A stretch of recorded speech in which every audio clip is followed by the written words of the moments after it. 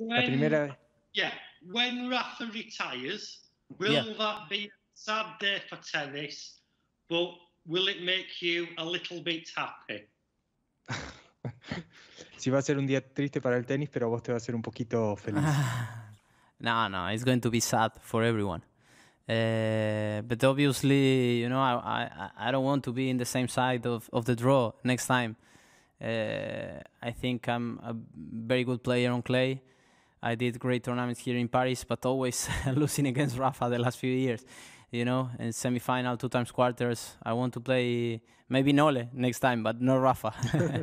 so uh, it's, it's difficult. I did great matches, always close the last few matches, but at the end he's winning. So nothing. Next time we'll see.